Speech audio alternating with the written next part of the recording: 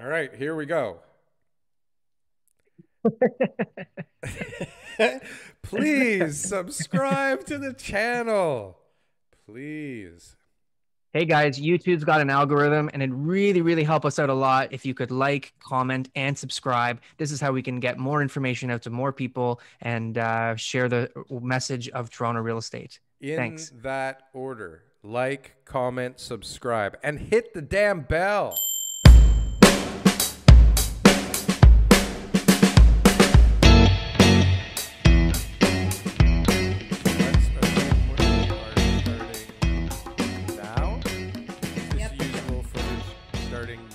Welcome. Yes. No, no footage previous to this. I'm gonna. We had a little bit of a delay this morning, and Daryl and I, we had the intern, like the interns were working on it. We had all these sound and audio guys.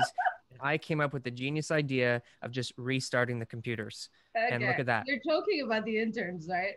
You're No, no, big time. There's a lot of all over stuff the happening behind in this. Everybody's studio getting here. fired after this one. about Yeah, somebody. That's it. He's not need getting paid, and now he's getting paid less. Interns around here. Yeah. You're gonna have to They're pay gonna us to start be here. paying me next Oh week, my mister. Well, good So it's a big morning. Welcome to I'm going to introduce our another- guest just quickly that we can that way we can start with this. Nasma Ali is a very successful real estate agent in the Toronto area. She works a lot in the core, East End, all over. I'm sure she specializes in a lot of different areas. Uh, one group re.com is her website. She's with Remax Hallmark. I've had the pleasure of uh, meeting with her and she's helped me out before in the past. She's a great agent and we're happy to talk to her today.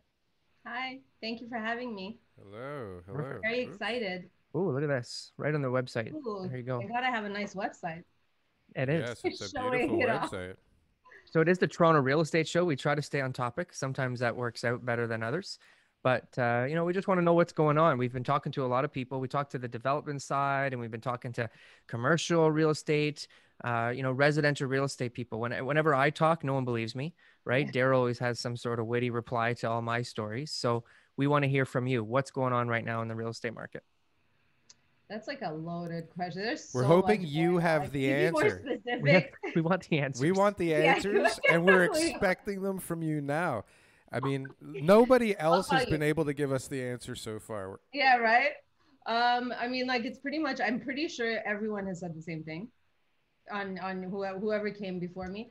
Um, so suburbs, uh, huge boom, and uh, so so all the Toronto big money of urban areas has now went on to suburbs, and so all that money now is pumped into suburbs. So they're seeing appreciations that they've never seen before. Yeah. Um, and now suburb agents know how to hold uh, multiple offers, which they, bef- they didn't really before. They they get didn't really have practice. that light. Um, but um, and the I mean downtown, it's such a it's such a weird thing. Like last year, condos were just terrible and they went down, and we're telling everyone now's your time for condos, and you know.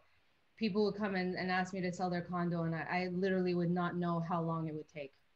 I would Mm. not know because nothing is sold uh, during Corona, for example. And so I'd be like, I have, it could take two weeks if we're lucky, or it could take three months. Most times it took either three months or never, like they just never ended up selling.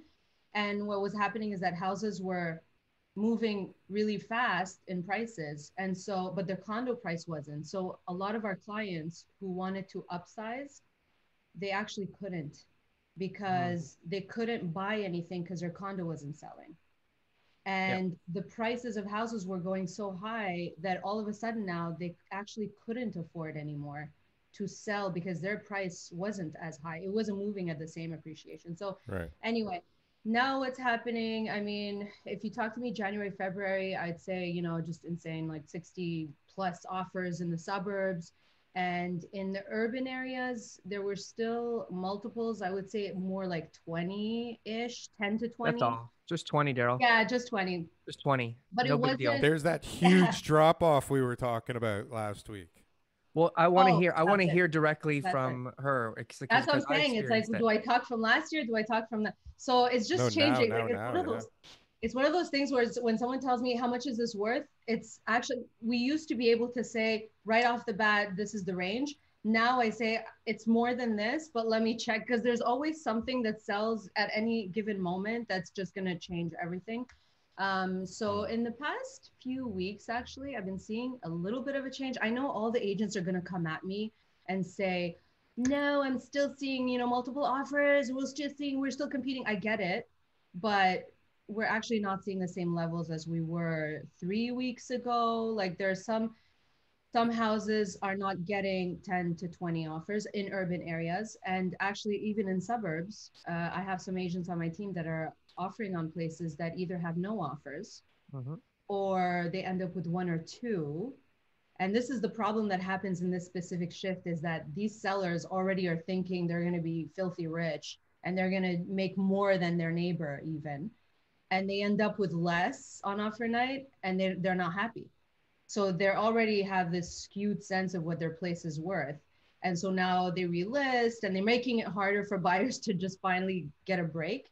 Um, but yeah that's kind of i just see kind of this little subtle shift and more and more places hitting the market more and more people realizing they could get rich and they're like let's just sell and get out of here. Um, and uh, i don't know. And, and more and more companies actually are, are just kind of like last year it wasn't sure if we're going to go back to offices but everyone i speak to who wants to move out is just saying their company has said either you're never come you don't need to ever come back or um, maybe you'll come back one week uh, one day per week. And so everybody's just leaving right? So Mhm.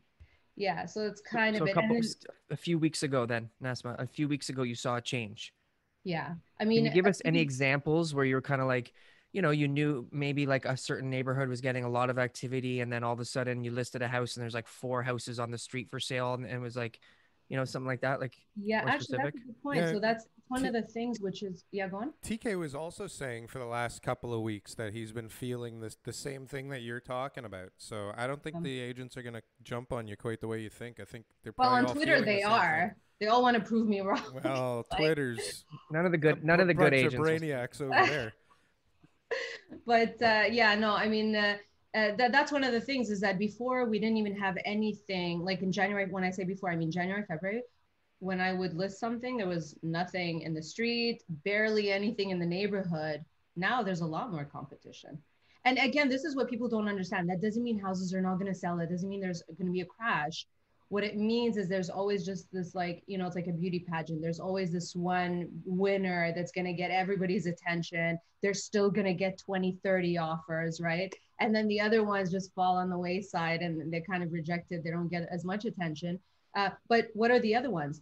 The ones that don't have nice photos. Maybe there's a tenant inside, doesn't look nice. Uh, maybe they're on a busy street, they're facing a school, whatever it is. Like those ones are going to be the rejects. They're going to feel the effect. Whereas January, February, they didn't feel any effect.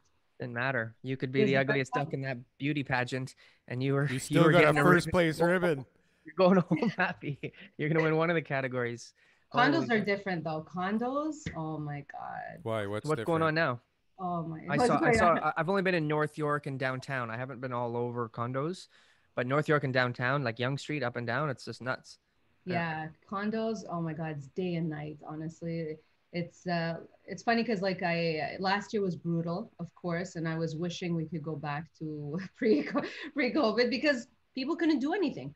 It was out of anybody's control. They couldn't move if they wanted to. Like families with children living in a crammed condo they just couldn't sell and like you know what i mean? They just couldn't do anything.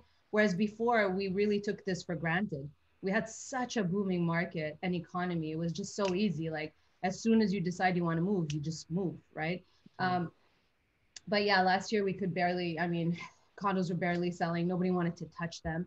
And now condos are just like we're getting multiple like 10 offers. Uh, we listed a loft in front of trinity. In a week we got about 100 showings. The the sellers like they moved out because it was just too too much and we received like nine offers it sold it broke the record of pre-covid that's when you know that you know Mm, that's a, that's the numbers we want to hear. yeah right That's the most Uh, important thing here, right? Is like, is it just yeah. good compared to last year, or is it good like overall? not everything is like pre like higher than pre-covid but it's getting close to that and um Not everybody hires you as their agent. Yeah, right. No, I don't. Honestly, it's not a agent thing. To, it's just such bullshit. It's the market. Like a lot of it is market. I think you can tell a good agent. Thank you for saying that. You know what? You could tell a good agent in a slow market. That's when you can see if the so, agent's good. so, so are there agents though who are there agents out there who are not able to perform the same type of um, success stories that other top agents can? Come on, there's got Um, there's okay. people who graduate at the bottom of the class in every field, right? yeah, yeah. No, no. So- well, listen, and even in multiple, like you, you and I both know, even multiple offers, yes, like obviously a, a top top agent can perform better. There's a lot of things that you can negotiate harder on. You know, stats more, sales more, whatever. But still, let's just in perspective. You know, the market's high.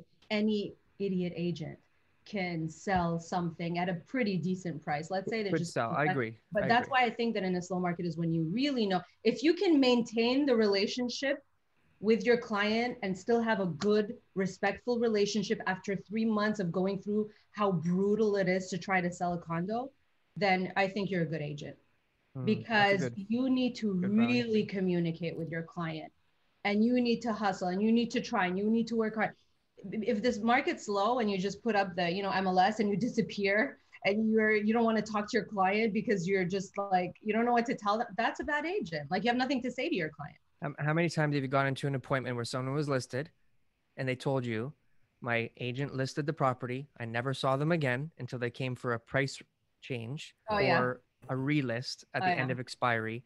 And Oh, I was yeah. like, what the hell are you talking about? Oh yeah. You know, I talk about those from the moment I see them. If I feel like they have this uh, set price, I actually tell them right off the bat, we'll list it at that. I'm on, you know, I'm on the same page. Let's get the most amount of money, but we need to reevaluate a week or two later. If it's not working, if you don't, we don't have enough showings, we need to adjust the price. So, so it's not a surprise. I don't want anyone to be dis- surprised or feel duped or whatever. Anyway, this isn't about like me, but uh, but just just we in want to general. hear that too. Yeah, because it's all part of the business, and this is the Toronto Real Estate Show, and there's lots of good stuff out there, and people are doing different things. Yeah. So I think that if someone's being successful in real estate, it's not just because they're good at talking to people and people like them. I think you have to be good 100%. at your job as well, Yeah. so that people are going to want to use you, recommend you, all that kind of stuff, right? That's, Well, a- that's it. I think recommending. the reality in, in an up market, even the seller doesn't really give a shit who they list with, right? It, it's when things get a little tighter or they've had that bad experience with somebody once yeah. that they start to think about it. But most people are more than willing to use cousin Mary's sister-in-law uh, because she's an agent and we know her, right? And then they may have a good they the, it may sell because it, look like you're saying most agents they can list it on the MLS and sell it for a decent buck and and and You know who those people are, though? You know who those people are who say, "Oh, let me use my cousin or whatever." They're the people who are too embarrassed to squeeze you on the com- commission because you're a stranger and you're like a top agent, but they They're okay not going to squeeze try their from cousin. squeezing their cousin uh, and uh, being uh. like, "Hey, do it for one percent. I'm giving you a chance here." sure. Right? So i know what goes on behind closed doors. That's what's happening. It's not because like they don't care who lists. They actually do care. What baffles me is that this is the biggest asset you own and you want to put it in the hands of someone who may not have that kind of experience yeah if things go wrong and things go wrong a lot of times a lot Almost every time. yes yeah don't oh my god anyway stories i have oh my goodness let's hear one yeah what is that let's hear one let's hear No. a What war is the biggest story. Fire big- you I'm had to put out one this right year? now it's just what's no. happening right now Oh my lord, no. no when it when I I'm done with it, I'll I'll talk about it. But yeah, it's just it involves a tenant, tenants are fun and uh, oh my god. Anyway, but uh, yeah, but for condos now, I mean, uh, like I'll give you another example of one that's not as popular as a loft. Last year we were like, uh, you know, we'd be lucky if we get like 720, and even then I was like, I'm not even sure how long it's gonna take, and it's a gamble because he has a tenant, and I said, you know what, you're better off getting the tenant out. Let's just spruce it up, stage whatever, and um, and he did cash for keys. He got the t- you know tenant was okay to leave, and and we listed, and then we finally listed this year, and uh, we listed at 750, which is pretty top end, like 750, and our condo fees actually were really high compared to other units. It was the one the Esplanade, uh, pretty high. But the reason they were high, like another, it was an older building, but also another reason is because of COVID So you know how some buildings have utilities included, the older ones, and the newer ones don't have utilities included. Maybe water, right? Sometimes nothing. Sometimes, Sometimes it's like nothing. bare Yeah. bones. Yeah. So the ones that do have utility, be careful because um, because of COVID, what happened is everybody's home. Mm. And so because everybody's home, these utilities went like through the roof. And so they had to compensate. Usually, so in his building, the increase has been two to four percent every year, very normal inflation, whatever.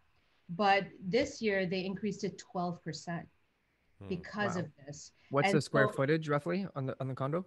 It was like uh, I think 700 650. I can't even remember. And, Uh, what, but and yeah, what's was- the maintenance fee? Uh, it was uh 730 after the increase. It was 730. Over a dollar per square foot yeah, on yeah, maintenance. yeah, yeah, yeah. I think it was a dollar twenty. I think it was 650 square feet. Sorry, Wow. I think it's Oh, 650 square feet. That's like one of the highest around.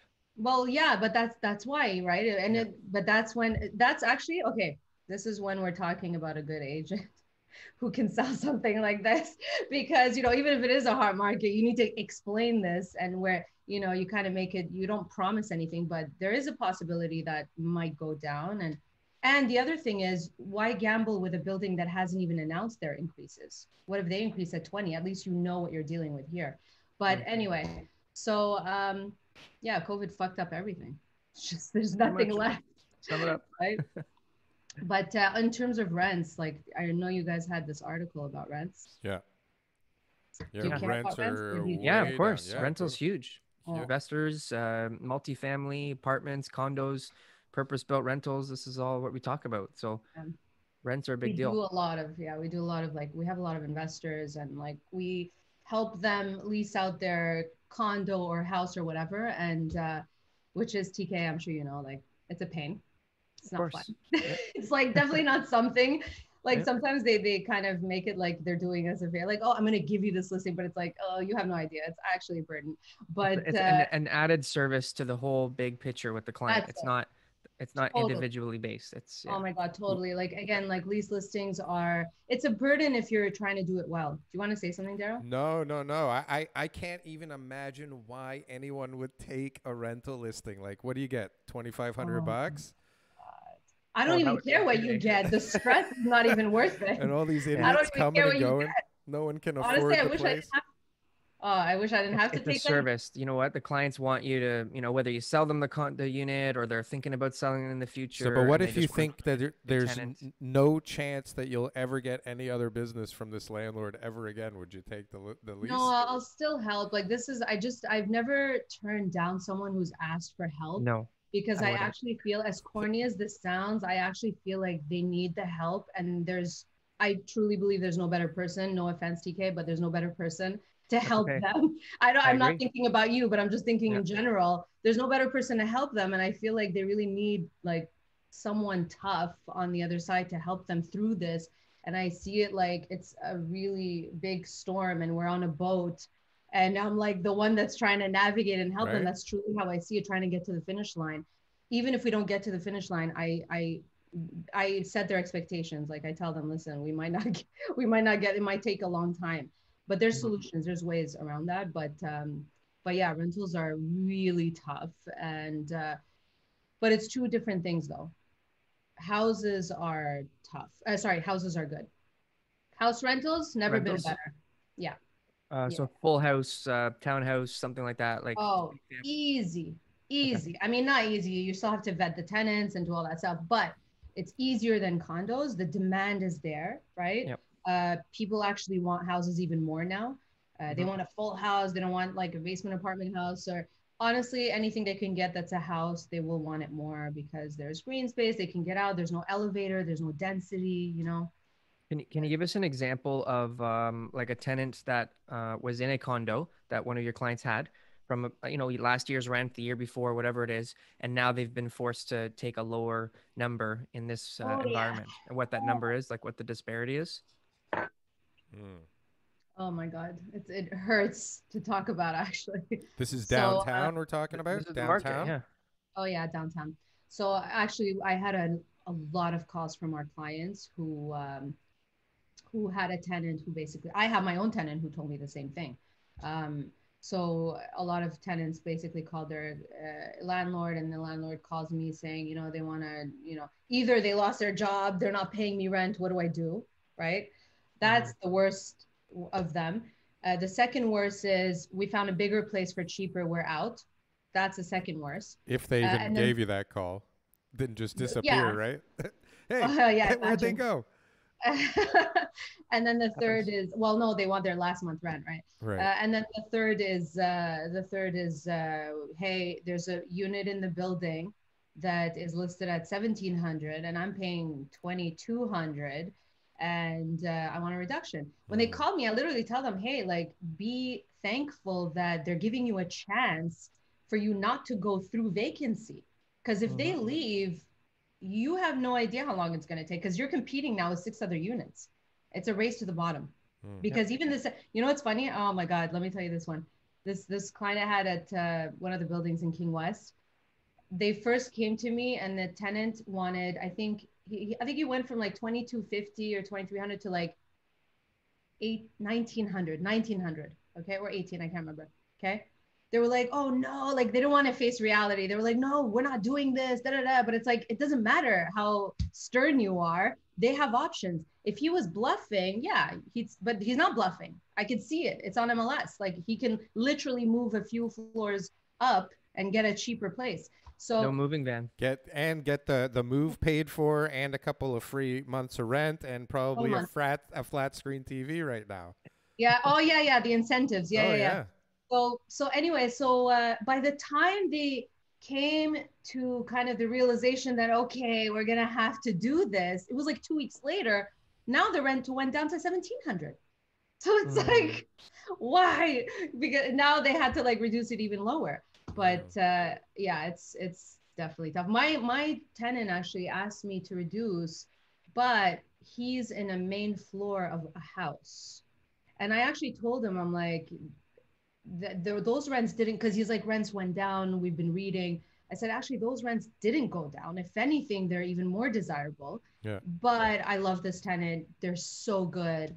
And they actually did have a problem like they have like they had a they took a hit on their income and i was okay with reduced i mean uh, you know they're they're great they're great tenants if they weren't great tenants i'd be like okay you can leave Yeah, if they're paying on time and they ask for the discount and they literally could go two floors down, the landlord would be foolish to take a gamble on because you're going to get the same rent anyways. Oh, and yeah. then you could end up with a tenant who doesn't want to pay or mess up the place, right? So if you got a good tenant and they're asking for a discount, as a landlord, what I would do, you let me know what you think, okay? I would offer them, um, you know, if they want a new lease agreement, I'd do a new lease agreement. It would be at the old rate, and I would offer them the rent discount for the year. So that way they're paying the new rate, and I say, look, at the end of this year, we'll reconfigure and figure out which one the best road is. Do you want to go back to the old rate, or do you want to leave, Yeah. or do we Smart. negotiate a new rental discount and see what you want to do? Yeah, that's actually what some of our landlords are doing now when they're listing a place. Uh, let's say they accept 2600 they're not going to and then someone comes in and says they want 24 they're not signing a lease at 24 Mhm. they're signing 26 and they're doing a few and by the way you have to have the last six months at the price of the so if the last six months are paying 24 you can't really renew at 26 that's kind of the rule is like the last six months so what he does is the first six months he gives them a discount so that the Mm. average is like 24 and then the four hundred bucks is paid. paid is discounted in the first six months. and some and that of them get it to some of them get it and they're like wait a minute what does that mean for next year and then some of them i mean if they have an agent i'm not gonna explain that like the agent should should know this but uh you just, you just Uh, say you don't know. You we say, talked "We'll- we'll about look this at the market like, conditions. in like March or April uh, uh, about just different ways of signing leases, didn't we? And this is kind we of we talked about that. Yeah, different ways to market, which is what um, Nasma's talking about, which is um,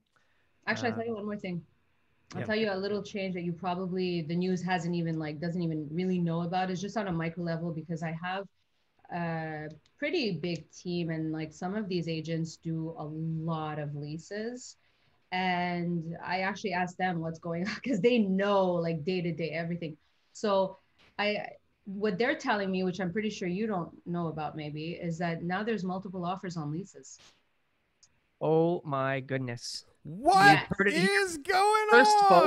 on? Holy smokes. Oh, yeah. Where? Like, what- Where? what What is is- this? But Where? okay, first Why? of all, houses How? definitely ho- houses. Pricing it low? Like, is this what they're doing? Uh, okay, so definitely multiple offers on houses, house leases, whatever, but also condos. And for example, let's say there's like five condos in the building listed at 25, and then there's one guy at 2 2100. Hmm. That guy's getting all the offers. At I what? it. So 25? they're Oh, using yeah. the strategies from the, the, the resale market. Oh yeah, pretty much. Leasing Or market. Or if that one that there's this one that's like much nicer than the other one stage but you know why it's stage no one stages for leases it, it i it, a lot of them are like you know when you list for sale and lease just to see what you get Yep. well so they probably have they've- staged it for the invested. sale but Mhm. by consequence it's like you know it's also for lease but uh, but those also are getting all of the offers let's say like i have my agents are telling me they're getting notifications that for houses that they've leased before they even have the time to see them. And uh, they have multiple offers. And a lot of times now and which we're doing as well if we get multiple offers we actually check their rental application. We kind of vet them just quickly on the surface first before they give us their offer because um, we're not just going to take the highest offer. We want the offer with the best you know a plus tenants especially with covid you want kind of an employment that's kind of covid proof in a way Mhm. um, and uh, you want someone solid a lot of our, our, our landlords like really want someone solid uh, ideally with two incomes Yeah. because what if one is lost what are they going to do So, but hold on a Uh, sec. Where are these people renting, and who are they? Are they local? Oh, yeah. Are they new? Are they? yeah Where So are they coming thing- from? but that's the thing i ask these like my agents is like okay why is downtown getting multiples? Like why are people going to downtown, who are these people who are actually moving? Actually so what they said is it's people who already live downtown and they're just upsizing. For less so money. there's a lot so there's a lot of people now a lot of current downtown tenants that are realizing they can get like a two bedroom for their one bedroom so they're leaving their one bedroom. And a lot of people who you know obviously they need more space now. By the way two bedrooms are booming. Booming. way more than studios. You know it used to be that you want to get a studio because that's the cheapest thing you need to get into downtown. Now everybody wants a two bedroom because a you can get like an office space or if you have two people they actually have their own space at home when they're working um, and then uh, b they can get kind of they're paying the same price as a one bedroom but now they get a two bedroom Yeah. so those are the people or the people who are still going to work downtown right those are the people that are like but but otherwise people are flocking Cab to drivers. houses. Just, just the cab drivers. So it's local people that currently live downtown Yep. that are leasing downtown. Yep, So- exactly. So we're not having more people leasing into the No. downtown. We're having No. a shift No. of locations for current downtowners. That's kind of interesting. That that actually makes it worse, I think. It makes it worse for the studios and the one bedrooms, right? I kind of worry about that. You know what? Oh my God, the prices went so low. Um, especially, you know, pre-con is just such a, oh my God, those pre-cons are killing people. What do you Uh, mean? What do you mean? Talk. Go. T- let's talk about that. What does They're that like mean? What do you- Ordnance, this place in Liberty. Oh Lord, like this, it's just all vacant. It's all investors. No one has bought anything in that building to live in. It's all investors. This is where so the- Liberty Village. Yeah. I get it. So So- 50 so Ordnance. now, because everyone's leasing, it the market's flooded with rentals. Oh my God. It's a race to the bottom. Yeah. Who can go the lowest? Now for a studio, I mean, you know, mind you, like the studios are teeny tiny. They're like 300 square feet, the ones that are built there. Whereas there are some in Liberty that are actually decent 400 square feet, like quite large. Uh, but um, but those ones are just, you know, okay, let me just put in perspective. Right before COVID, I leased out a studio at 60 Colborne we listed at i think it was 2000 and in day one we had three offers and we ended up at 2100 okay for a studio okay Where was this? Where? that was at 60 Colborne Okay. Yeah. kind of like you know Yonge and church like whatever Yeah. somewhere there jarvis or yeah and um and uh, that tenant actually so that rent went down to like 1500 Wow. and like four so the Wow. studios now basically average studios used to be 2000 now they went back now they went down to like maybe You can find some for fourteen hundred. Fourteen hundred. or- Holy Ordnance? shit! Ordnance, there's one. I think there's one at twelve fifty at Ordnance. That's how bad it is. wow. Like it's cheaper than a basement apartment. That's like. And by the way, this is another thing I was gonna say. How much Back in inventory? What was that? How much inventory is there for lease downtown? I have to look. I have to look. Oh, uh, tons. Like there, I have to look at how many. You know what? I should look at. In the middle of COVID, there were over five thousand for lease in downtown, like core, like C one, C eight, C two, I think too, uh, and there were over three thousand for sale. It was bad. It was bad. It was bad. Wow. I have I have a new I have a new theory here. Okay, guys, this is this is fresh off the press. Yeah. Developers, when they sell, are only allowed to sell to so many investors, and Oh, that yeah, will be a part of their development application. Darryl, what do you think? That is definitely something. Listen, I think all day, all night about what the hell is going to stop this market and kill this market. Is that That one of those is probably one of the things that will absolutely I'm glad I'm glad I came up with it. the Toronto real estate market. Well, think listen, the it, this- this reality building- is that even though everybody says it's not that many investors, there's not that many investors.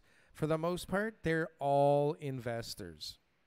Yeah. Okay, it's There it's are. a For sure. very small portion of people that are actually planning on living in these things. Even if they're locals, they're mainly investors. So so Especially pre-construction. all all Yeah, 'cause pre they have to live somewhere for a few years, so that it's not their principal residence, right? They're living somewhere. Listen, th- th- Yeah. they they don't incentivize anyone to build rentals, and the city is like sixty percent rentals. So where are all the people going? They're going into condos that have taken on the role of purpose-built rental buildings by having multiple investors owning multiple units in all these buildings. That's been the way of Toronto for a long time, right?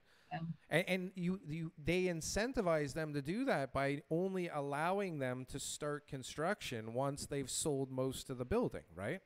So, so you have to sell to investors because most people can't wait fucking five years to live somewhere, right? It's just it doesn't work that way. But an investor can because he's buying for maybe, you know, he's buying for two years from now's price, which they'll get possession of in five or seven years, right? And then they'll have some kind of a income down in the future or some kind of a profit. I, there's not too many people that don't look at it that way, right? So I mean What that about what about guaranteed rent then? All developers have to do That- guaranteed that's rent. crazy too. Is lately they've been offering this guaranteed rent, and how the fuck are they gonna do that now? Oh my God! Don't even.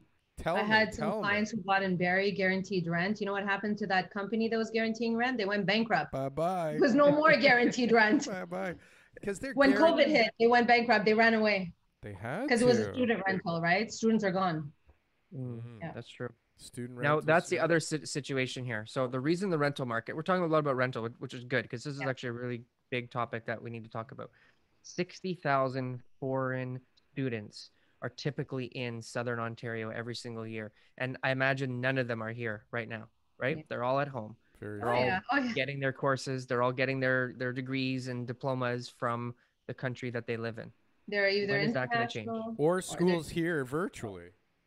Yeah, they're When international, or they're in their parents' house, parents' basement in the suburbs, or whatever, getting their degree. Exactly. Like uh, there, there was a huge like, n- no more students, no more immigration, no more tourism. You know, um, but Airbnb's now going to be, you know, I mean, Airbnb's still running. You'd be surprised. Actually, I, I I talked. I have this. There's this company I, I we work with. Their short-term rental. It's booming. They need more Airbnbs. People but in, are but in going Toronto, around you that. got you got to have a not license though for a now, principal condo. residents only. It's Yeah, people are going. Yeah. for, for houses, Yeah. no? Or it's for condos still. Which one? What? The Airbnb. People want condos or they want houses? Uh, they don't mind. They just want the cheapest thing possible. Really? They, they don't they don't mind. I mean, obviously, families would prefer like a house, but uh, but yeah. You know, I you know, who's staying in all the Airbnbs right now is people who are selling their house. I was just gonna tell you for you. a week.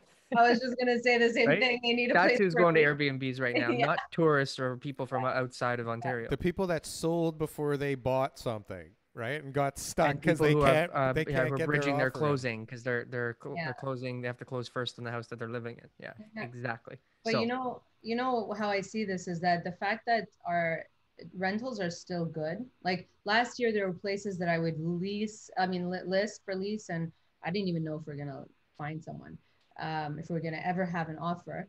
Um, and then, uh, and then now places are leasing out. Uh, the fact that there is a change now because you do have some activity, um, and you will get an offer eventually. Um, but that's despite that there's no none of all of these other factors like that's why i just feel like when when we're over this we're just going to go right back to what we were maybe even more with all of the influx coming in mm-hmm. um but i mean right now we're, been watching our show ourselves what was that you've been watching our show i think because that's what we talk about is, yeah no i I we were in a crisis before this. We're, we're, we're going to come out of this in another crisis of some sort. Oh Go, yeah, like the to. fact that we've survived and we're doing very, very well uh, despite everything going on. I think like when we go back, it's going to be even very well is an understatement. Listen, I mean, I'm surprised that we haven't even hit any of these articles yet th- so far, which is amazing. I mean, I love this topic of rentals that we're on because it's super important because everybody else in the media Everybody else is focusing on stuff like the great Canadian real estate fallacy, which is basically talking about how prices always go up in Canada, right? Toronto real estate market out of control and unsustainable. Canadian real estate price growth and low inflation almost comical. Like everything is talking about banks have the tools to deflate a housing bubble. Like everything is bubble, bubble, is bubble. It's crazy. It's yeah. too much. You have to stop this. We it can't let so. this go. Let's be real. No, but it then, is. but then all There's we've focused on. All we've talked about for 40 minutes though is how the rental market is crashing and what an interest and this is why like you know people are fucking confused, right? Nobody if you're if you're a waiter, okay, and you were a renter like your life is totally different than a year ago. Uh, they all went back to like the suburbs to live with their parents. Who knows what the hell's going on? Industry, who people who used to be like roommates or whatever, unless they're in a rooming house, which is like more affordable. Uh, if they're like roommates or what, they just went back to uh, you know their families. But house. it's like such a tale of two totally different like you know what cities, I'll say? right? You know what I'll say about that? Okay, this is we used to when I when I used to work with investors who wanted to buy, let's say, a condo downtown. In the past few years, I always had to kind of explain that. Listen, you're not going to cash flow, right? We'll be lucky if we can find something two, three hundred negative, right? And, and let's say we find. Now it's, yeah, now it's it's it's way worse. Why? Because prices have are like when when when the rents were at this level we were in 2017 let's say but the prices are not 2017 we're way beyond 2017 prices. Yeah. um, even if it's at last year's prices i mean it's still there's still this huge gap where it doesn't even make sense even for investors anymore. And i'll say another thing about pre-construction um, pre-construction like i like listen i uh, what i've seen so far just we'll, we'll keep this conversation ground. between us okay? Yes just between tell, us. just tell us the truth yeah i'll tell you the truth. I mean listen like i i'm i um was a believer and you know i also i have like i bought two precons in 2017 the problem that i'm seeing right now is and and by the way you know do you remember this time when in 2017 when the condos boomed everyone who had pre-construction at the time made a shit ton of money. They made 200 250 everybody was trying to assign. I don't know if you remember this and they were everyone was trying to sign and they were successful and they were making 200k with no closing costs nothing right? The Before problem the CRA is, was looking at paper flippers too. Yeah. I right, mean that was I, when they changed that. Yeah, yeah. didn't stop anything. So yeah oh totally. So so anyway the difference now is i feel like almost builders caught on and they're like well wait a minute. Why why are these people pro- we should be profiting? And so since 2017 if you bought 2017 plus, I feel like prices, you're lucky if the market catches up to the price that you paid three, four years ago. And I remember in 2017 when all this assignments, the stuff was happening, everybody wanted a pre-con. It was like a frenzy. And they want people would come to me and explicitly say, I want it because I want to assign. Mm-hmm. And I always tell them, listen, like i don't want you to depend on this assignment. We have no idea what's going to happen. We can't guarantee that you'll make a profit like that. That's fine. If there is a profit we'll assign but you have to be ready to hold on to it when it closes if there is no profit. Are you okay with that right? So a lot of people i almost discouraged from getting it if their sole goal was to assign. Some people came to me i think like i would say two in the past few months who bought with you know whatever another agent and maybe that agent didn't explain this to them but they wanted to assign it. And we were lucky to even i mean the price that they paid is not is not even justifiable now. And they bought it in 2018 and 2017 and the price is not even caught up to this now. is refreshing. This is very refreshing to hear right now. And the other thing is my condo to that that i bought in 2000 the two that i bought 2017 I probably paid 60K in closing for each, 60K. Yes, I got 20K back or whatever for HST. Okay, so let's just say 40, 45, whatever. Okay, 40, 45. And, you know, the occupancy check and then, you know, like my upgrades and things. I mean, you know, like blinds, whatever, stupid things. Um, my price, I, I probably break even. It probably break, break even uh, if I sold after it closed I mean, it's one of those things where you really like people just want to get rich really quickly, but there's, you know, we're not, yeah, if you bought Precon in 2012, 14, 15, yes. Yeah, you made out, 15, you made 16. out like a bandit. Yeah. Yeah. Great. And, and Darryl doesn't necessarily, uh, you know, have a, a say really. You know, I know you're on the development side, Darryl, but when you're talking about us representing clients and giving them the best advice, that is the right advice. I mean, to buy con- pre-construction as a profiting type of business, the only thing it makes sense is you don't have enough money to buy right now. You want to take advantage of an incremental deposit structure. You really want to be in that building when it when it's built, and that's you know the area you want to be and in. no tenants. That's actually one good thing now is that you don't have to deal with getting a tenant in this market. And I think by next year, like for an assignment, by next yep. year, hopefully gets better. But yeah. Yeah, that and that, and that's it. Other other than that, and it's all speculation. And I think Florida was one of the best. Miami was one of the last markets that had this amazing um, realization because they built so much and when everyone you know tried to close and they realized that they, they paid for all these condos that weren't renting and their their equity wasn't even there and sometimes they even get a mortgage. Like there's some serious risk in pre-construction. You don't know what the market's going to be like in three to five years from now. You can't predict it. And if you can't afford to rent out your place for 1250 bucks in, in liberty village afterwards and carry it for five years it's not an investment that you should go into. That's funny. I remember my building um, my building was uh, like I had moved in, it was an occupancy. And uh, when COVID hit, like we had been waiting for months, like when is it going to close? Right. And then COVID hit and all this talk about people losing their jobs. Oh my God. All of a sudden now the builder was like, we got to close this now ASAP. And they closed it ASAP. They said, they sent a, a, letter in the, I think it was like March, just when COVID happened, saying you're closing in 30 days. And I was just thinking of all the people that probably lost their jobs just in that moment. Now they have to get an approval, right? Like a solid approval. Mm-hmm. Um, but yeah, it's. Uh, it's but what bad. about buy, people that buy now? Like everybody, everything you look or read, anything you look at or read right now is talking about like rates have to go up or policy has to come in to slow this thing down. So like if you're buying a pre-construction condo now that's not going to be built for what? 4 years at the soonest, 3 years, 5 years? Like what's your rate going to be? Yeah. Like you're not locking in now, right? So like what are people's rates going to be for things that they're paying based on like even what rate now? How do you do this right now? Oh yeah.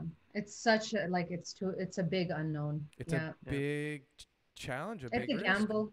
It's a gamble. But this is the only way that the housing market can kind of work the way it's uh, the the rules are set up right now, because it doesn't make sense for people to build purpose-built rentals, right? So mm. so if you need those investors in order to get the the kind of wheels moving and the product built five ten years from now for for that demand, like how else do you do it other than incentivizing the developers to build rental buildings? Yeah right how else how else does this machine actually work It's crazy though. But like they're talking about we need to raise interest rates because this thing is out of control, but we're not we're not raising interest rates. Like We're not actually going to do that. no, because it's like we need want you to know that it could this. happen. No, we need this frenzy. Otherwise, we'd be in a horribly deep, disgusting, painful recession right now. Right? Hmm. We're using it's, uh, this. This is on you know, you- purpose. You guys remember when uh, you know the when we started deferring mortgages, and everybody said, "Oh, the the mortgage cliff." Cliff and, like, deferral. November, de- yes, the November, December. Everybody who's lost their job is like, you know, there's gonna be a ton that's gonna sell at that point because people have to live. There isn't that. I wish I had the stats for this, but Nothing. what I'm seeing is there's not really that many power There's sales, nothing. you know, foreclosure or whatever. Um, you know, I've had friends who lost and clients who did lose their jobs. A lot of them got a job since then, like found a job. Um, and had a good uh, bridge gap. Who's the Who's the nine percent unemployed then right now? Who are they? Restaurants, uh, hotels, uh, airline. air, like all the Retail. retail, like all those people, and that's a significant portion of, of, of the market, right? You know what? I, I watched a YouTube video yesterday, or I read an article that was kind of interesting. So, you know, we're all in, in real estate, and we see prices running rampant, out of control, right? Uh, th- 20, 25, 30% year over year numbers, right? From one year to the next. So we all think that there's this craziness, right? But, but when they're measuring inflation, so we think there's inflation all over the place, right? Because the market is insane. But w what this article talked about, which kind of opened my eyes a little bit, is that like what percentage of the population is actually affected by the real estate market? I mean, it's only the buyers and the sellers, right? It's no uh, all the rest of the people that are not moving, not thinking about real estate, like are are. Ninety-eight percent of the population is not moving. I, You I think think it's a little actually. Well, I did I did some yeah, so numbers there's a this morning. There's a hundred thousand sales in Toronto. Yeah. Right. So if you look at that, and remember those represent sometimes the same family moving twice, right? Mhm. That's TRREB numbers. And if you got six million people in the population, Yeah.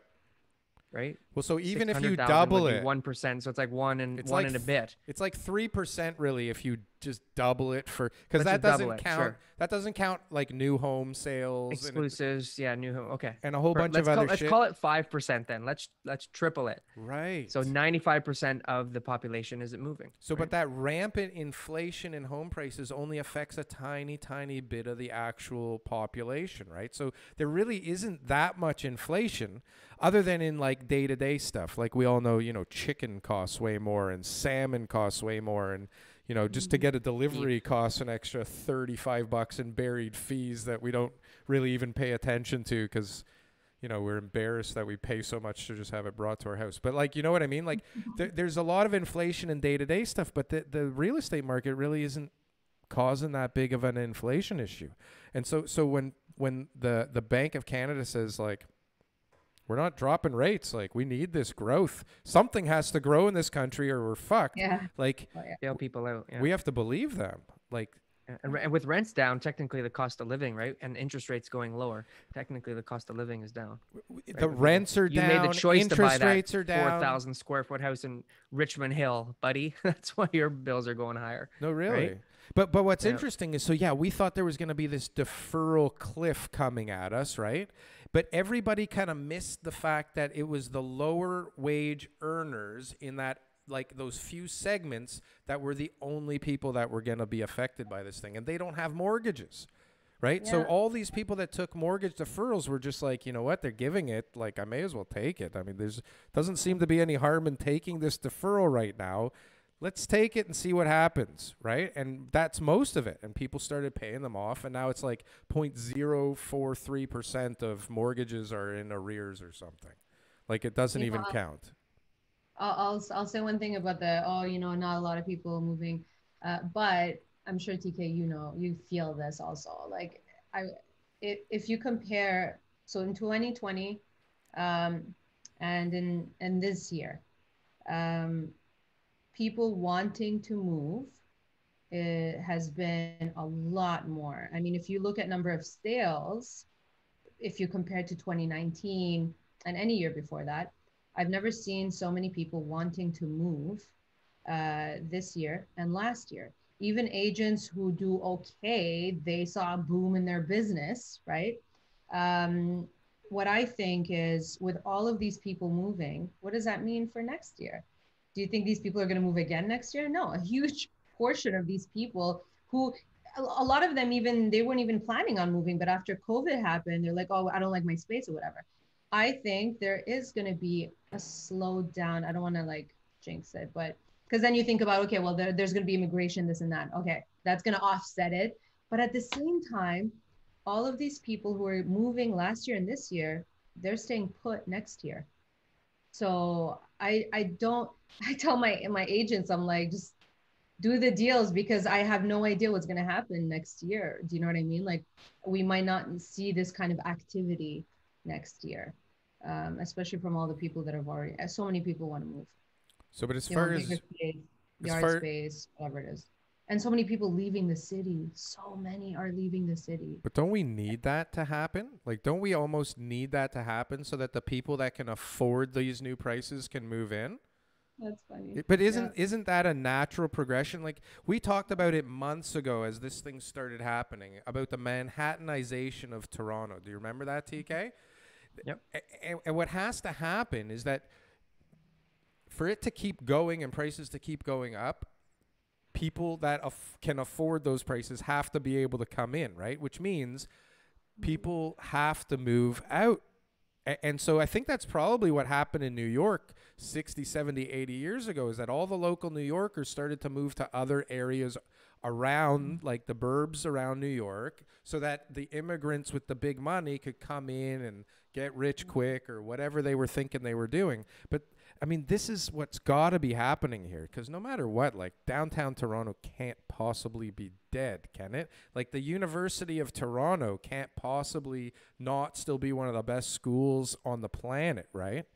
I think. Is that where you went? no, no, I didn't go to university. It is it is ranked it is ranked pretty high. But it's, it's up there, big, right? I'm yeah, I'm just saying like attractions. Th- these things are only temporarily happening because we don't have 400,000 people coming in right now. Yeah. I, am j- equally as worried as you are about a crash because this is definitely not a sustainable trajectory, right?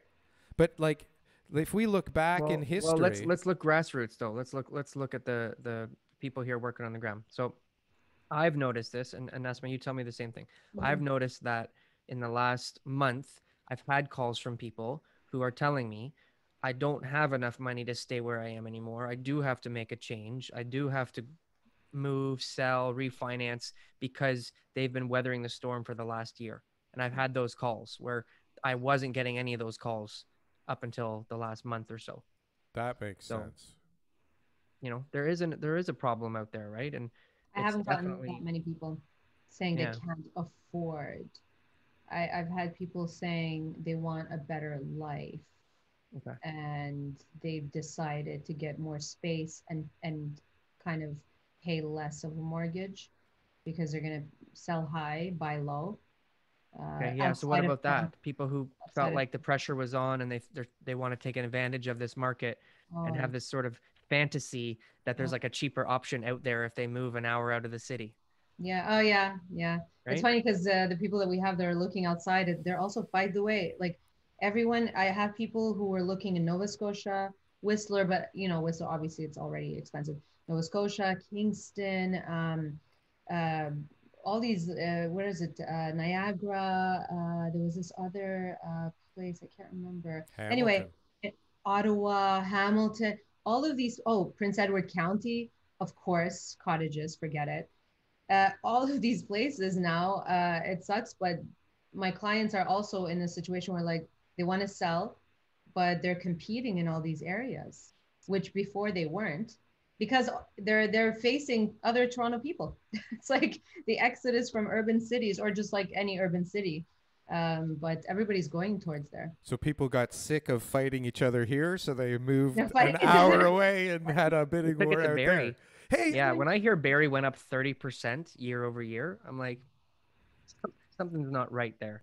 That's Yeah. not something that should. But uh, Barrie's be been happening expected to for a happen again. while. It's when Durham and Milton are, you know, over a million dollars. It's like that's crazy. Barrie's You been know- we've been talking about Barrie for years, no? Oh my God, let me tell you about this story. I don't know if you guys, uh, you probably didn't see. I posted on my, my Instagram.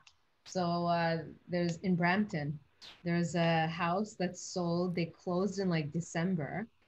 Uh, it's sold for eight, I don't know, eight fifty something, whatever.